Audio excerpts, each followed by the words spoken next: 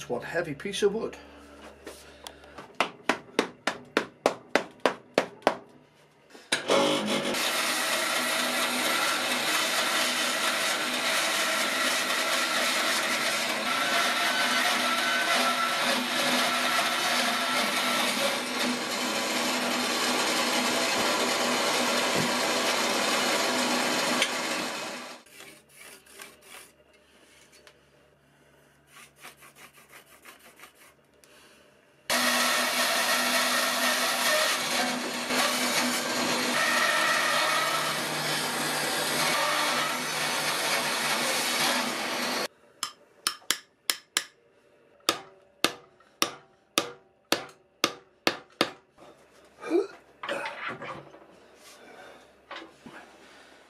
Too bad actually.